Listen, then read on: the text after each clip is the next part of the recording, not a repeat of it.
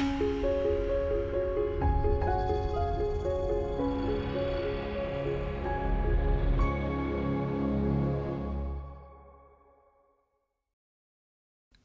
everybody and welcome back to part two of my print project using the new gel press plate.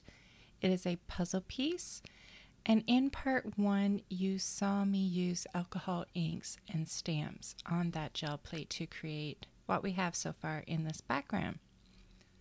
So in part two we are going to finish this spread in, my, in the journal.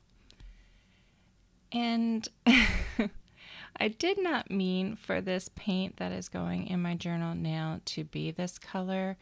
I had forgotten to clean off my brayer after using the alcohol inks and that is why it came out a green color, which is not what I wanted at all. So, note to yourself clean your brayers after using them with alcohol inks because it will transfer once you get them wet again with paint. So to cover up the green, I'm going in with a paintbrush and some white paint. I want I want the background to blend in together, but I also want those puzzle pieces to stand out a little bit. So I am going in with the white paint, but being very loose with it. I'm not trying to cover everything up, but I am going around certain areas of the um, the puzzle piece print part just a little bit more to define it in certain areas and it'll help it stand out a little bit more. You can already see some of the puzzle pieces popping against the white. And I didn't want to lose all that stamping in the background either.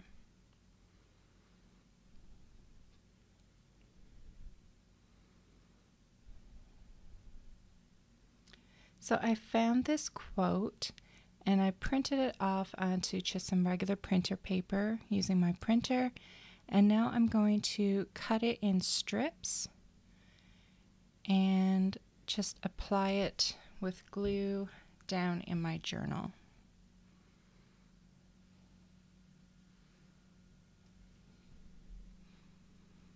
This is a great thing to do if you don't like your handwriting or if you don't want to take too much time to make your quote look fancy.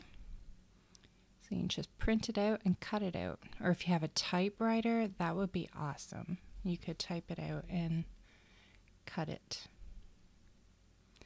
So I'm just going around the puzzle piece with a Stabilo All pencil and then I'll take some water and it kind of gives it like a little bit of shadow.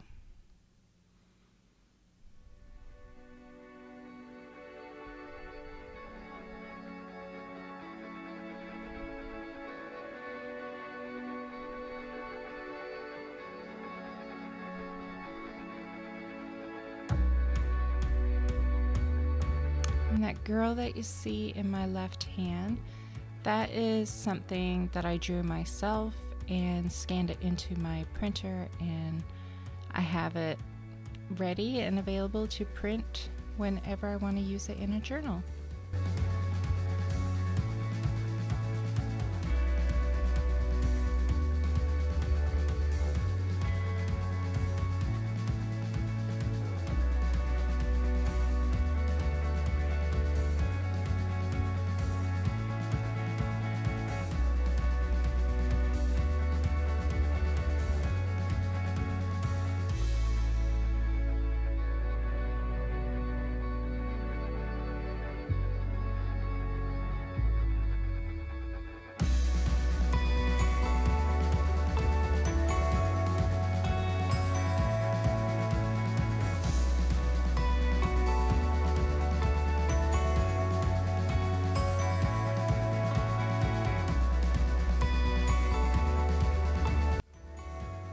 In with a little bit more of white paint and adding some acrylic glaze just to get the paint a little more thinned out and fluid and a little more workable for a longer period of time. And I'm just creating a bit of a, I don't know if you want to call it a halo. it's not meant as a halo, but I just want a little bit of white space around the figure because to me, with the puzzle pieces popping against the page and then her being on top of those puzzle pieces, it just felt like it was competing a little bit. So I wanted to push the puzzle pieces back a little further, but if I used just the pure paint without the glaze added, it would have really covered up the puzzle pieces, and I still wanted them to be visible. I just wanted them a little bit more faint around her head so she could stand out a little bit more as well. I'm just using some gel medium to adhere her down to my journal.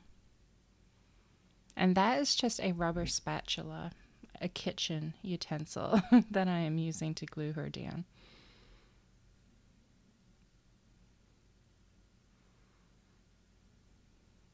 And with it being clear gel medium, I'm not worried about getting it onto my journal page anywhere because it will dry clear and I can write over it no problem.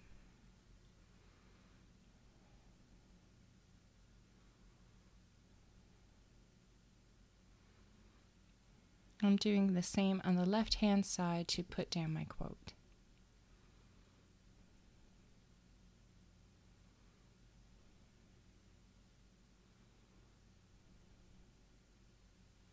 Now go around the quote with a Stabilo All pencil and wet it like I did with the puzzle pieces.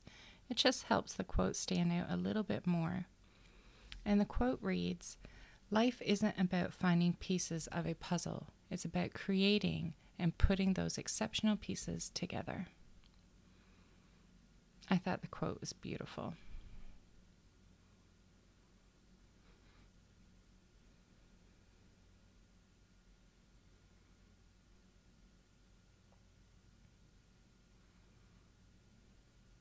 And the same idea as I did with the person, I'm just applying some of that white diluted paint around the quote as well so the quote can stand out a little bit more from the puzzle pieces in the background.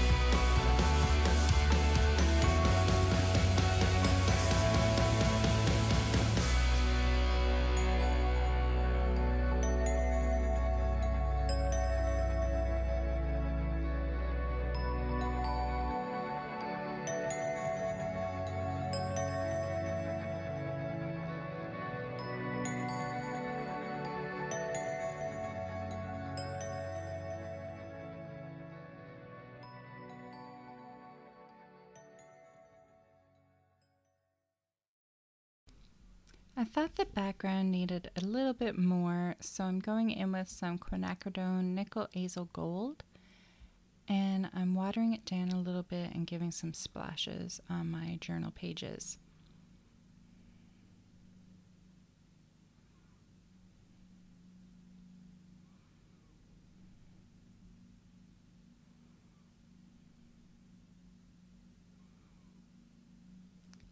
And I thought the border like not so much the border, but I guess you could call it a border, but I felt the pages needed to be framed in a little bit more and I don't know, it just felt a bit too stark with it being so white along the edges.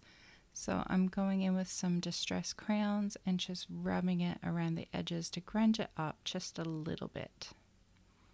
You know me, I don't like anything too pristine, too clean. I like it grungy and just the blended colors look great.